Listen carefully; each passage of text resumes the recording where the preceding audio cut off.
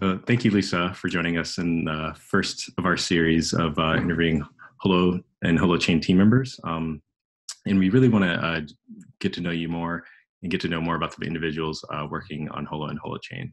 Um, so, so thank you for for joining us. And, uh, Absolutely. yeah. So I'll, I'll uh, go ahead and let you introduce yourself, and then I'll introduce myself. Perfect. My name is Lisa Jetton. Um, I am one of the UI developers on Holo. And yeah, very excited to be a part of this conversation and being able to just highlight um, some insights from our team and Holochain and from Holo and Holochain in general. Thank you so much for asking me to be here and connect with the community. Um, we're constantly moving and growing, so I, I, appreciate as our community grows that we can connect even further. So it's fun. Hmm. Yeah, so that's me. And uh, my name is Micah Jefferson. Uh, so I'm currently the what's called the growth and delivery coordinator, which can span a few few different areas in the team. But I mm-hmm. um, definitely do a lot of customer support and um, internal team support. So um, yeah, I'm always happy to uh, help uh, anyone as far as like communications go, communicating from inside to outside and outside to in. Um, so this is uh, one of the ways that we're doing that is just reaching out to the community, uh, making sure your voices are heard, and um, definitely like letting you guys know who we are and, and what we're up to. Um, so yeah, I'll just dive into the first uh, few questions if you're ready, Lisa. Perfect. Sounds good. Yeah. So um, to get to know you more, uh, could you tell us a little bit about your story? Um, sort of how did you find Holo Holochain and um, what was your experience um, moving from, I believe you started at a, a hackathon. Uh, yes, sir. You were a person and now you're part of the organization. Absolutely. Yeah. It has been quite a journey. I'll first start, um, yeah, just describing like how I was as being an active developer. I live in Austin first and foremost. Let me say that. So being an active developer in our Austin community and the hackathons and um, volunteer events, and how I moved into being an intern first with Holochain and then an employee, uh, where I am now with Holo. Um, so yeah. Um, I'd say I feel very fortunate to live in Austin because it is so exposed to so many different types of vibrant technologies. Um, and everyone's really seeking out um, a better future for the whole of our community and um, each other in general. Um, so I had been involved in different hackathons such as um, the Woman Who Codes third annual diversity hackathon, where we support other women in STEM fields, or the um, Hack for Life hackathon, um, which was promoted by St. Edward's University. And we went through like there are 22 different real life problems and domains from like health to um, uh, education to politics, and people would just approach those problems and try and create solutions and technology for them in that moment. So it, it was kind of fun to see things come together. And it was in that moment and those days that I was active in that, those communities that I came across um, Holochain, and they promoted themselves. We were promoting ourselves as um, post blockchain technology, and that was so intriguing to me. Just the what, what, you know, what did that mean? It had so much complexity just in that one sentence. So, um, so I went. I, I went to the hackathon, and um, it's fun to hear, like, to think about it from the perspective of when I was there, and now from the other perspective, I know how it was for my friends and teammates now at that time. But apparently, like um, it was one of the the most um, volunteered and staffed um, events. But I remember being there and being like, wow, there everyone here that I've met from Holochain is not only like specific in in their knowledge and their intention and and they can tell you exactly why they're doing what they're doing but they're so passionate about it and it was just everyone so i feel fortunate because i was able to interact with so many people at that one event that represented what holochain is and what they were pursuing. And so for me um, it was so just to kind of back up i know many people in our community know this but it is for me the combination of of um, the philosophy of helping build a better um, internet a better connection a better uh, cognition of help, helping um, be aware of what data is and being in control of our own personal identity and use of our data. And there's so much complexity in how we interact and share data today. Um, but what really meant something to me was everyone there found both the benefit of having authorship, not like sacrificing your voice for control, but then also understanding the the importance of being fully aware of access and fully aware of, of um, being fully in control of who you share the access with. So, I mean, long story short, I learned a lot there and then um, immediately fell in love with the organization. Uh, pursued following an internship with Holochain, which um, followed for three months, well, 10 weeks essentially, in Denver. And I got the opportunity to meet up with uh, five other incredible developers and minds. Um, we had people, many of them are actually part of our organization today, um, but we had people coming all the way from um, Mumbai, India to um, to uh, you know Oregon, um, Portland, Oregon, and we had Atlanta, Georgia, and myself coming from Austin, Texas, and we had uh, you know Inner Mongolia, China. So I mean, so many perspectives coming to one. It really was um, like such a quintessential like description of what holochain was like multiple perspectives coming together still having identity in the combination but being able to work towards a mutual future. And mm-hmm. uh, that was it was beautiful. Uh, but during the internship itself we actually worked on um, projects that were still still in use today. I mean they've gone through many different iterations many different um, you know rethinking and reevaluating but the cool thing was when we were interning we weren't just you know doing the any any superfluous or like kind of like oh like testing projects it was like we are getting our hands dirty and actually helping out in what the projects you know we think matter um, so again this is reinforcing kind of the value that holochain places on each individual and in our organization um, and so my part in that, I actually really did enjoy working more on the, the UI side of things. Um, that was more my experience prior and leading into this. So um, I enjoyed seeing how I could create UIs that matched with um, Holochain itself and deliver that as a full application for people to interact with the Holochain um, architecture um, without necessarily having to know what that was, but just they got to use it. And so at the completion of the internship, um, I was able to continue as an employee working with Holo and as an employee with Holo.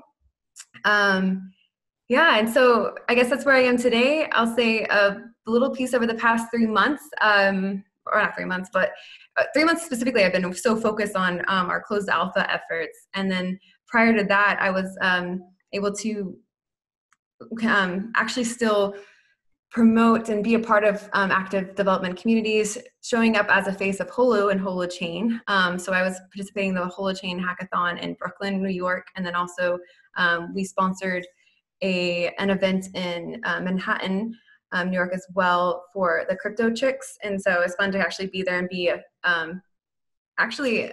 Um, a voice piece into what holochain was because many people for, of course there also were new to just the word or the idea. So um, it's been fun because I get to continue a little bit of, of that community involvement while still developing um, UIs for Holo. So yeah, I guess, and it's not really in a nutshell, but that's been my journey. so um, yeah, it's, it's, it's quite full. So I mean, that doesn't even encompass it all, but it gives you hopefully a feel of the, the movement. yeah, yeah, that's uh, been an amazing, amazing experience for myself, and to see and hear what you've gone through is it's pretty awesome. Um, yeah. And a, kind of a, a slightly follow up question um, with that: uh, is there anything um, that you've seen that is a big shift from previous positions that you've had, or like, I guess, what is a, maybe one thing that you've um, experienced working on the team that you've not experienced anywhere else? so many things so many things that are unique about this experience um, but i mean for me one thing that is resonates with the organization in general, just as a person, a human in this place, is um, how much trust and um, like value everyone places in each other. So mm. we are constantly, everyone has holds a significant um, role in our organization, and everyone is mutually interdependent yet independent what they're doing. So we know what we're doing we're focused on what we're doing but we're also bringing together our parts and, and recognize that it's the the relationship between our parts that make the great greatness of what we're developing. And so um, in doing so in our communications even like the like regularly we'll have we'll reevaluate um, our processes and just the fact that we can do that it's not like this is your set way of doing it you know kind of abide by this or move on kind of thing. It's like no we're, we're flexible we're moving with um, each other and we recognize that if we're trying to develop something that enhances um, you know agency and autonomy and interaction with each other we actually have to live that out in real life while we're developing this. And so i see that through and through in our both in my team separate in like the small team of holo or like the bigger organization of holochain um, you know so i've enjoyed just the time that i've been here there's been many iterations and many consideration reconsiderations of like how to interact with each other and um, uphold the, the best communication um, and efficiency as possible. Um, so I, for me that would be the biggest point um, and then also just like the the collaboration. I mean in, in spite of how quickly everything's moving and changing and how sometimes people can be so um, entrenched in, in their work everyone's still willing to just give give feedback give um, you know help out someone understand why they engineered whatever project they're working on this particular way and how can interact because of, of course that's necessary but i mean sometimes that's not always the way and, and um, you know human psychology you don't always react that way but i find that specifically um, we've built a team of people that ha- are of like minds and want to really create something that they want to live out themselves. So it's it's really resonates in in my experience day to day. Cool very cool. Um, so something in that um, also speaks to the next question of sort of how, how we relate. Um, so one thing um, that I appreciated sharing when uh, I came into the organization was like what my superpower is or what I feel really exemplifies who I am as a person. Yes. Um, yes. So I'll share with you. Like I consider my superpower dance. Like I, I love to to b boy break dance. Um, You're an awesome dancer. um, but uh, yeah, we're we're wondering like, what is your superpower? What what do you consider uh, something very special about yourself you want to share with the community? Yeah, that's a fun question. Um, you know, I actually was first thinking myself dance because I actually grew up dancing, but I honestly, I think for me, it's it's more about expression because I feel like I like dancing, but sometimes I find my the, what I enjoy personally when I'm dancing is just my my freedom of movement and ability to express my thoughts in that way. But I find that's also what I enjoy when I'm creating you know uis or when i'm like talking to people and be from different cultures in different languages it's like really it's the ability to express and receive and communicate. Um, so yeah i mean um, i've just a little bit of insight into me i, I um, lived in france for several years and i do enjoy speaking other languages and, and knowing other cultures and um, I also speak some Spanish, so it's just one thing that I enjoy about the ability to see from different perspectives is the ability that um, you understand expression from many different angles, but yet despite the word choice or the constructs of you know whatever framework of language or thought patterns you you grow up in people still are able to evoke you know a meaning and an essence that we can communicate and receive. And um, i don't i found I, just find that so beautiful in the different formats that we can do that. So um, for me that's i enjoy doing that. I would say that's my superpower. Very cool um, yeah, I really like that. That expression is uh, is your superpower. Um, so I guess what what inspires you then um, is is does some of that lead into um, how you approach your work, or or what really like gets you going, gets you up in the morning? Yes, um, I mean what inspires me yes i really I, am inspired because of our cause in the morning. What gets me up in the morning is like i actually really enjoy what i'm developing but if we take a step back um, in general um, what i find inspiring is when people are willing to look at their life and ask why or ask challenging questions about like what defines where they are and it might not always be like comfortable or what you know to kind of they can see it from where they are but then also maybe try and see it from a different perspective and ask you know and redefine that that space. Because i feel like for me one of the reasons i how new technologies that really benefit people emerge such as holochain is because you're coming from a you know, plurality of thought and lenses. And um, it takes a lot of courage. It takes a lot of vision to get there. And so but it first starts with the question.